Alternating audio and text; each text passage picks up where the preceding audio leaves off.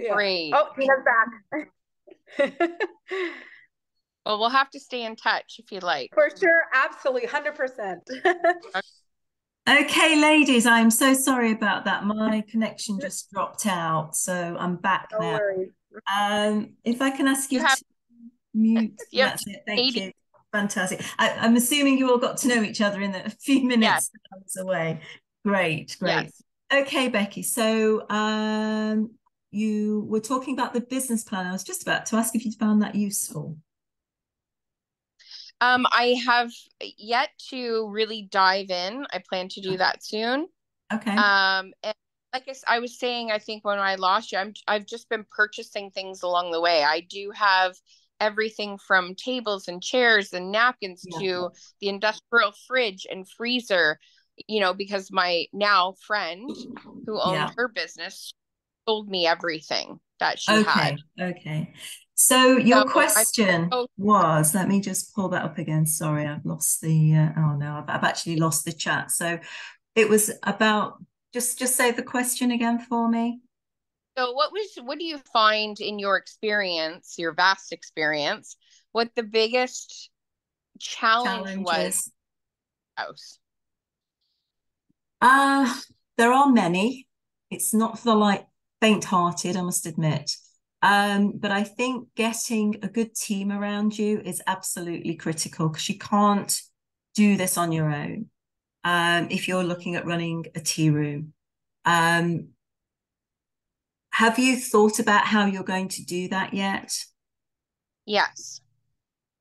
I have my husband and my daughter wants to be a part of the journey as well.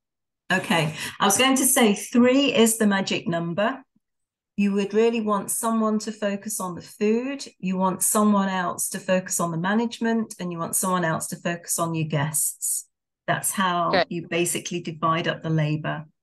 Um, obviously, there's a lot um, of management to do as far as health and safety, um, the health department, um, all those rules and regulations, making sure that your food is safe and that your establishment is set up correctly for that Yeah. side of things. And to be honest, that is quite onerous when you start. So make sure you give yourself a long runway before opening. Yeah. Um, and uh, the fact that it is family is good on one hand because you already know these people. Uh, it's also bad because you already know these people. So Oh, um, it, it can be stressful because it will be all consuming. And if it's all consuming across your whole family, yeah. Uh, so make sure you you you have some kind of backup plan if you want to have a day off, or your daughter wants to have a day off, or heaven forbid somebody gets sick. Uh, because Yeah. obviously, if you do have, say, sickness when you're running a restaurant, you can't work with food. So you do have Yeah. to have a little bit of uh, additional help or um, some something on standby that can can kind of help you with that. But I would say that is the most challenging. Um, and then the next part is getting word out and getting enough people to come in and your marketing. And you have doc- to mark, and you have to market all the time. I always Yeah. say um, there's three things that you do in business. One is deliver to your customer. Two is keep your costs as low as possible. And three is market your little bottom off. Sorry. And they said something rude there. Uh, but yeah, you just got to keep marketing uh, all the time. I keep do your- have, I have two daughters. One of them Uh-huh. is she is a video editor Okay. social media guru. Oh, cool. That's great. I've told her that I will pay her X number of dollars per week. Yeah. If of can keep that going. Yeah. What what I found was really helpful was uh, my kitchen crew. I would get them to um, do little mini videos of what they were bringing out of the oven every morning. So um, it's one thing to have someone doing that for you, but it's better to have something real that's happening in the tea room if you can. So that might be something to bear in mind. Um, if you can do that. But yeah, that sounds good. Has that answered your question? Has that given you a bit of insight? Yeah, and I'm glad I, I, it sounds like I've got a bit of a head start. I've had the health department come in a long time ago mm-hmm. just to check things out. Um, I recently had a um, person from the uh, fire department come mm-hmm. in. So he did a walkabout because we'll be, I, I travel from this small town in southern Ontario into Toronto every day. It's like a two hour drive. Sure. I want to start traveling from upstairs to downstairs. So yes. we'll live in portion and and run the tea house down. And we don't want to make it big. We just want to keep it, you know, 10, 11 tables. That's it. Right. Okay. In that case, I would say focus on doing events where you're booking out the whole space because that will give you better revenue than doing dribs and drabs. Yeah. Um, even if it means, you know, once a month you're running a themed afternoon tea to get lots of different people, but for one event, if that makes sense. So it's not necessarily just baby showers, bridal showers, birthday parties, which I think we should do, but also maybe once a month having a themed tea where you know you're inviting people to dress up. I don't know, it could be Bridgerton or Downton Abbey or Jane Austen. You know, pick a theme that means something to you. Get people mm-hmm. to dress up, and then book that. And you could, if you're doing a themed event, you can often charge another 10 $15 more than you would if it was just the afternoon tea service itself. Yeah. So that's just a, a thought. Good ideas. Okay. I am actually going to be recording this, folks. So uh, I will send this out to you um, so that you can capture this if you haven't managed to. And I'm sorry about the false start there earlier. Okay. Um, I've lost the chat completely with me popping out and coming back again. So if you could put your questions into the chat, ladies, then I'll uh, I'll, I'll pick those up as we go, and we may have some more people joining us as we go through the evening. I'm not sure if they will or not, but we'll see uh, where we go from there. Other question was about um, location, choosing location. Yes, yes, I've got that now. So, uh, Antonia, let's uh, let's speak to you on that. Can uh, we, um, yeah, uh, Becky? Can you uh, just mute yourself there, just so that we can? Uh, yeah, fantastic. That way we don't get too much uh, background noise. Um, so, what parameters do you look for when choosing a location? Interesting question. This is my hardest part right now. can I, I just say? can I just say? There's three things to look out for. Okay. Location. Location. Location. Location. You know. right, I know. what does that mean? Let's unpack that. What does that mean? It means now you're in the States, is that correct? No, I'm actually in Canada as well. I'm in Canada. Al- Alberta. Okay. Alberta. Okay. The other side think, of Ontario. okay, I think this is going to apply as well. If you'd have been okay. in the UK, perhaps a little less so.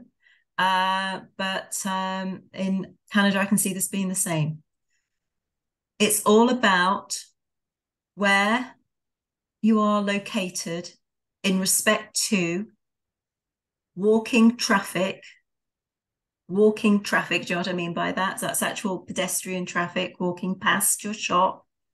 Okay. It needs to be in a retail area, not uh, a um, residential area. It's very difficult to market a residential area if you don't have actual foot traffic and you need parking. That's the one. Definitely need one. parking. Yeah. Uh, especially your winters are going to be so cold and icy and snowy. And I went to see a property when I was looking, it took me two years to find the right property. Now, I'm not saying I didn't do anything in those two years because I was running farmers markets and building a um, a reputation in my area, so that when I went, oh, now I have a location, I'd already got people following me. So that's some of those early days stuff that you can be doing. Um, but I went to see this particular location, and uh, it was in a really cutesy town. In fact, it was one of the towns that I did my farmers markets in, and um, it was uh, across the street and you walked, I think it was three or four stores down, round the corner, uh, and then obviously around the back of these stores, three or four stores on a, another little side road, and there was the parking lot. Nobody, nobody said that was a good location for me when I was asking the local community at the farmers market. They went, "There's no parking." I said, "Yeah, it's just around the back." No, no, they're not going to walk. They're not going to walk around there. And it was only like you know, four buildings this way, one building this way, and four buildings back. Nope, they won't do it. And it's like, why? And it's like, well, because when it's icy and snowy and you've got yep. older generation people, yeah, they're not going to do it. That's so, what I thought. Yeah. Mm. So parking, I, that was such a big lesson for me. And it was such a cute little town it was in as well. It's like, yeah. And the property I ended up going for, in fact, each of the properties that I had had parking exactly outside, like either at the front or at the rear. Um, yeah, so you've got to make sure it's got parking and for enough cars as well. Because that was one of the criticisms we had was that we never had enough parking. So when we were full, it was more difficult. So yeah, parking is an absolute must. Okay. But I would also say a resi- don't go to a residential area, go to an, an existing retail. So you actually have like other shops nearby. Right. Okay. I Does always say uh, healthy competition is always good because my my spouse was like, "Well, no, that person's beside." I go, "But that's good because it brings people." It does. It gives right? people choices, and and competition is never yep. a bad thing. I think people get Not. hung up with competition. In fact, I was doing a study, reading a study, and they were saying that if you are next to um a Starbucks, it's one of the best places because Starbucks have done all the research and they've done all the foot traffic analysis, and they're there because they're going to, you know, they're going to get the traffic. Um, so it's not a bad thing. If you go into a shopping mall, you do have to be a bit careful though, because I think uh, in the malls that Starbucks is in, um, they have um, a caveat that says no other tea or coffee shop can go into that same mall. It's one of those competitive uh, things, and because they're so big, they they can have the weight on that. So that's just something to be aware of. But if it's in a um, like a kind of cutesy town um, where you don't really have the shopping mall environment. I mean, I, I like the idea of a, a period property, but that was because my my business was um, a British tea room, so I wanted right. that whole kind of vibe going on. Um, so um, yeah, parking is the most important. Thank you, because that's been my biggest challenge, and and that's the reason why I don't pick a lot of places. I'm like, no parking. I go yeah. the majority. I mean, you get a lot all ages, I'm sure, but I have been to a lot of tea rooms, obviously, just scouting, and you do see the a little bit of an older crowd, right? Like yeah. aunts and grandmas, and yeah, not, and not going to walk. Yeah. They're not going to walk. They'll, you know. no, no, it's going to it's going to really impact your business in the winter time, um, right. and it, it. I mean, the tea room business is fantastic because it is multi generational you, will have you know you have the children you'll have the parents you'll have the grandparents um right. and and that's a great thing to be able to offer but yeah it, it, can put a lot of people off if you have to walk anywhere at all um exactly. I say if you've got walking traffic and if it takes you two years if it takes you three years if it takes you four years it's worth waiting for the right place because you can lose Perfect. a lot of money if you're not in the right location and I've had one location that lost me a lot of money. So I wouldn't recommend going down that road. Exactly. Has that been helpful? Very helpful. Thank you so much. That was a burning Not a problem. Not a problem. Okay. Thank you. Erin, um, if you're going to buy a business, how do you evaluate the price for it? Oh my goodness me, that is a jolly good question. Hmm. Do you want to give me a little bit of background on that, Erin? Yeah. So um, I'm currently it just started, as you know. Um, so I am doing teas out of my home, and then oh, I'm yeah. also like a mobile tea yes. experience. And um, I've my real dream is to get to, to get a location. Sure. Um, I talked to uh, like the economic development person in my city just to kind of get an idea what's out there because there's also a lot of grants too. So I wanted to see what what's available.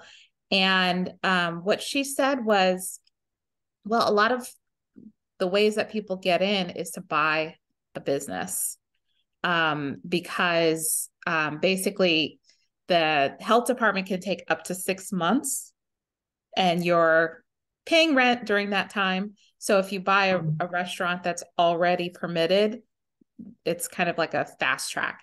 Yes. Uh, so coincidentally, um, across the street from my old work, um, this bakery is going for sale. Okay. And um, not really, I don't really love the idea of buying their business because I don't want to do what they're doing. Yeah. But um I'm I'm interested, but um I also felt like they priced it very, very high. Okay. Okay. That that's great. That gives me a lot of context. Thank you. Okay. So I did buy a bakery in one of my mm-hmm. my ventures. Um but what I would say is um let's let's roll back a second. So if you if you um, don't buy a, what we call a going concern, a place that's already running as a restaurant or a bakery or something that you know already has the commercial kitchen is the important thing. If you can find a location that already has a commercial kitchen, then most of the work is done for you. If you go into, um, let's say it's a residential style property, you've got to apply for change of use and the zoning. And then you've got to fit the kitchen. And then, you, oh, I know more about grease traps than any woman should ever need to know about grease traps. You know, there's just so many rules and regulations. And if you do go into a property that already has some of this set up for you, it saves a huge amount of time. Now, my criteria when I was looking was it had to have already got a commercial kitchen in there. Now, I didn't care what the business was, as long as the property itself had a commercial kitchen, or at least the three bay sink, or at least the grease trap in there. Although, having said that, I did end up putting one in. Um, but that's like the major part of the plumbing is getting your three base sink in there. So that was kind of like my minimum requirement. Um, and a property that had already been used to serve food, be it a bakery, a cafe, um, one of my properties was an ex sweet shop that um, served coffee. So it had like a little bit of a cafe kind of context to it. Um, but then if you're buying a restaurant, that could be too far to the other extreme. And I did look at one and it had uh, a deep fat fryer. It had, you know, all these ovens and grills and um, extractor fans and it was more than I needed. Mm-hmm. So the value of that to me wasn't as high, even though it had got more stuff in it. Do, do you see what I'm saying? Because I was only going to be making sandwiches and baking. But then there was other properties I looked at where maybe uh, it had been used for making, and let's say it was used for making sweets, uh, candy, but it didn't have an extractor well, for me to put an extractor into a building, that was going to cost 10 grand. And it wouldn't be my extractor, it would be part of the building. What what's an extractor?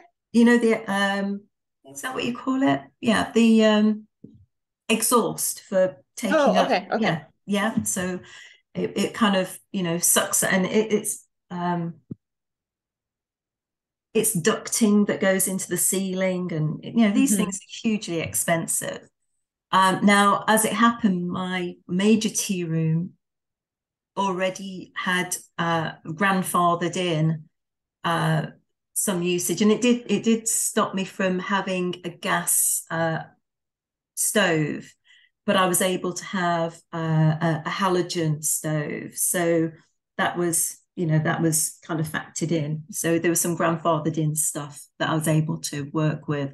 But if you go into a, a, a location and have to put this um, uh, this ducting in to, to extract all the fumes, then it's a huge investment for for a bit of property that you're never going to own unless mm-hmm. of course you go out and buy a property which i wouldn't actually recommend it's much better to rent i think than buy unless you're going to live there becky um, but um, uh, because you're going to need as much money as possible for your cash flow just to keep the business running, you're going to need access to cash. So don't mm-hmm. use up all your money buying a business and buying all okay. this equipment that you probably don't need, is what I'm trying to say.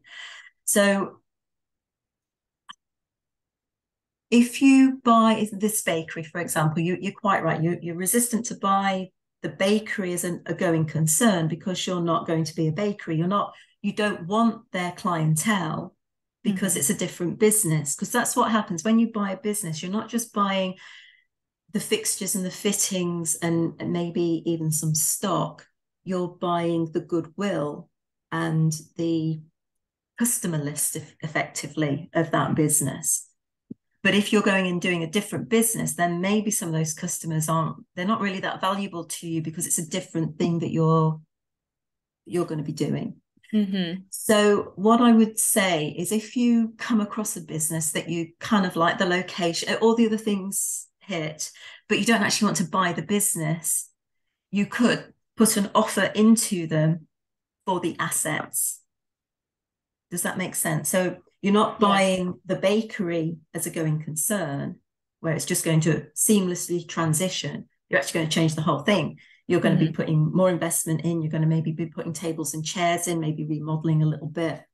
Um, but you know, the baking oven, I quite like to have that, and um, you know, the the walk-in fridge, yeah, that would be great. So then you come up with a price. And what I would do is look at what the new price is and then halve it.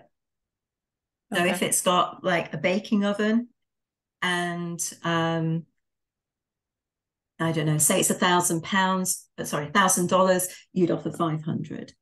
Okay. And, and then go through all the assets and and and make them an offer. Because you know not they they will get more money if they can sell it as a whole business. Mm-hmm.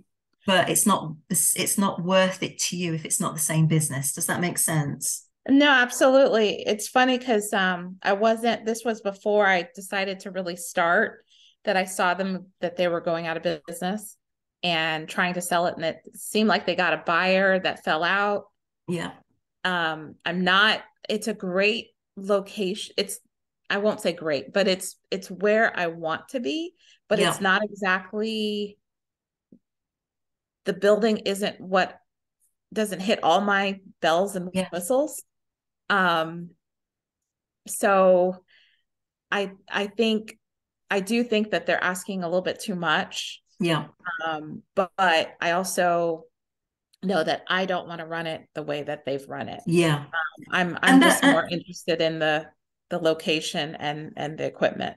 Yeah and and that's that's a that's a fair thing to want and not want and and and and the basis for a conversation. So you could quite easily say yes i'm interested but i'm only interested in this and this.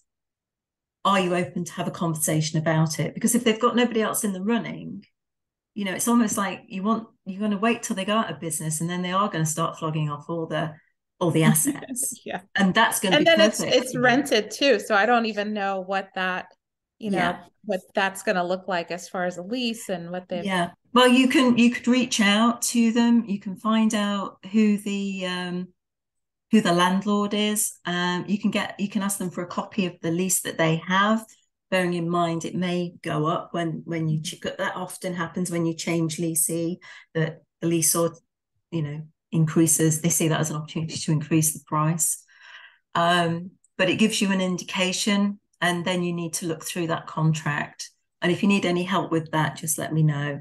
But um, yeah, it's it, it's worth having a conversation if it ticks some of the boxes. And it might be that, well, you know, I'm kind of interested. I'm not desperate. It's not what I really, really want. Yeah, it's kind of it's, it's, a conversation, and we can come. It's hard because maybe. it's like it's on that main street, but it's also a very small place. Yeah, uh, because it ran as a bakery. So yes. I've been in there several times and thought, well, they don't need all this, and I would move this, but it still ends yeah. up being smaller than. And it might be too small because uh, yeah. often people say, you know, I want to keep it small, and uh, you know, only want you know six tables.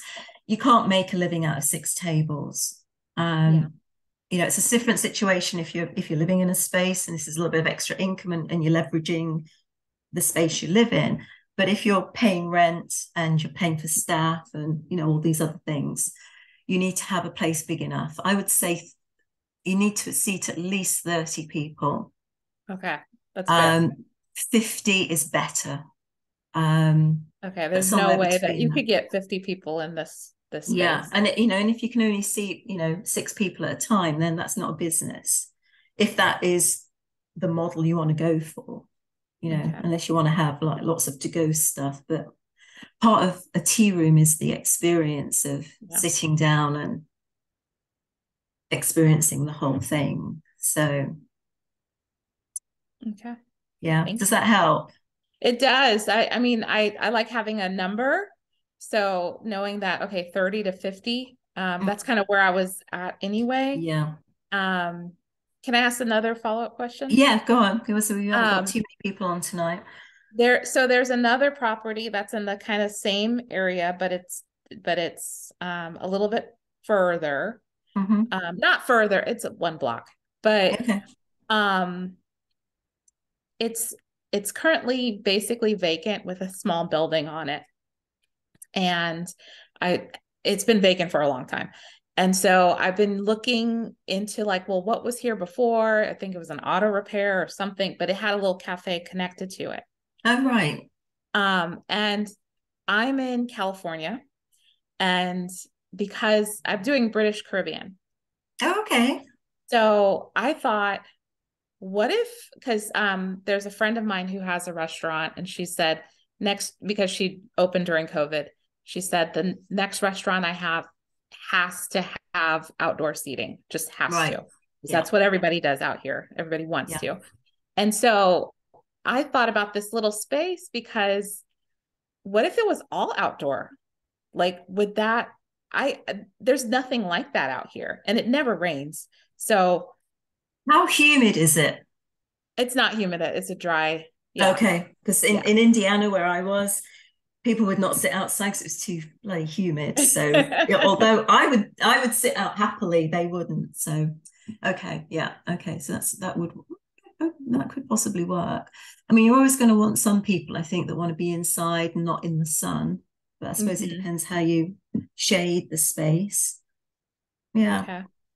It's just something that um I there it just doesn't exist. And it would be a very cool if if there's a way to create some like awnings or overhangs that but you're not actually inside yeah yeah um there was a place in indiana um called rick's boatyard and it was on it was on the lake and they they just had so much decking and they had awnings and you were basically outside overlooking this lovely reservoir mm. and the boats would be out there and so it was kind of an idyllic place it wasn't a tea room it was a um, I suppose it would be a like a, a fish restaurant. Um, but um, that was kind of cool, I must admit. Okay. Yeah. So yeah, it might might it may work. It may work. Yeah. Okay. Uh, if that's answered your questions, Erin. Um, Antonia, you've got another question there. What's the average square footage for a place? Ooh. That's a really good question. Mm. I think it depends what you're going to do and how you're looking at setting things up. I mean, we started out with a really small kitchen. I mean, so small, and we were doing all our in house baking. Um, and within six months, we'd expanded into the other half of the building. Um, it's amazing how, if you're well organized, how little space you need for the kitchen element. But then you do need to have enough space so people aren't feeling too crammed in, especially after COVID. A little bit of space to kind of get around. So I, I don't know what um, I'd have to come back to you on that. I, would have to have a look at the contract that I had for my uh, tea room to see what the square footage was on that um, 50 seater space that I was talking about. I can't remember off the top of my head what that would be. So let me uh, let me make a note of that. Um, I've got, yeah, I'm I'm just trying to think what it was now. I've got some numbers that are kind of going around in my head, but I, I, I don't want to give you a, a false uh, a false start on that. Um, but yeah, you do need to think about making sure you've got enough space I mean, what we did in in our tea room, we we actually had two. So we had we had four top tables, so they were kind of like oblong, So you'd fit four people per oblong table. And then we put three of those together. So you had four, eight, 12 people. And then we had two rows of those. So that's probably your best configuration um, for getting groups in. And groups is where you make the money. So that means when we first opened, when we only had the 30 seats, we couldn't do group bookings. We just didn't have enough room. But when we expanded and we added these extra 24 seats, um, 24, yeah, 12, 24, yeah, those extra 24 seats, 24, 25, it's a really good number for baby showers and bridal showers. Um, and we were doing two table turns uh, on a Saturday, and then we'd maybe do one or two on a Sunday. Um, and one party would be like a whole Saturday's taking. So it was like having four Saturdays crammed into a weekend. So that's where you make the money, not Monday, Tuesday, Wednesday, Thursday, but the weekends. So um, I don't know if that helps. Okay. So out of the 11 that said they wanted to come on tonight, you are the, the lucky three that uh, actually meant it. So good luck there and, and well done there for being so dedicated. Um, I'm going to signpost you over to um, tearoomsecrets.com. I don't know if you've all been there yet and had a little poke around what we've got there. Um, but what I've done is, as people have moved through the process of starting to actually getting their tea room to then getting staff on board, you'll start to see then some some of it is training, some of it is actual documentation that you might need for um, your tea room. So there's something on hiring. In fact, let me just pull this up so I'm not doing it from memory. Um, hang on a second. Of course, my computer froze earlier and I've lost everything that I had open and prepared. So let me just um, let me just pop over there. Um, so that's basically how I have kind of developed this whole training thing. We are doing a monthly group coaching. So if you found today helpful and you want to do more of this, I do make a small charge for that, $59 a month.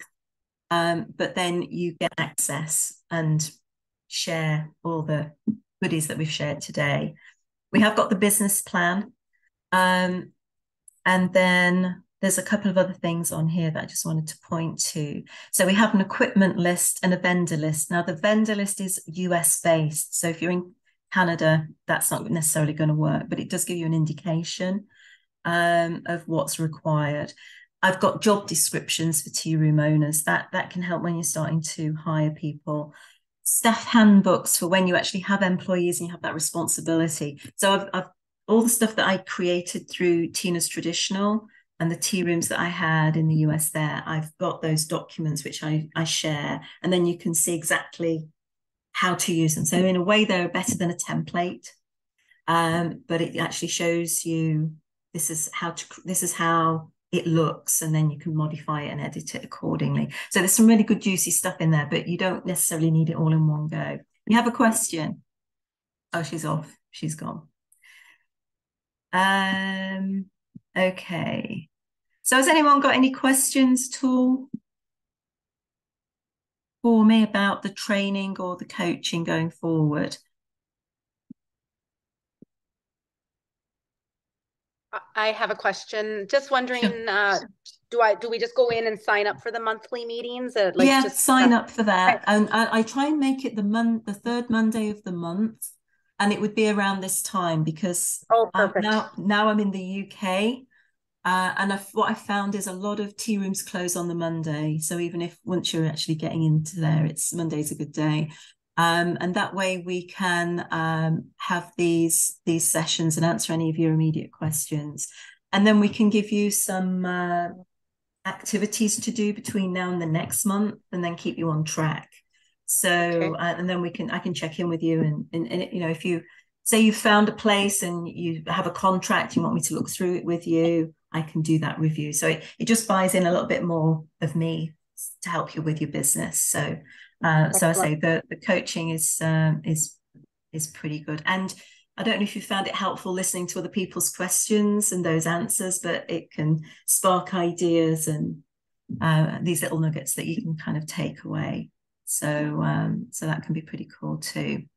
Um, and then I can just signpost you to what's next if uh, some of the training we've got is relevant.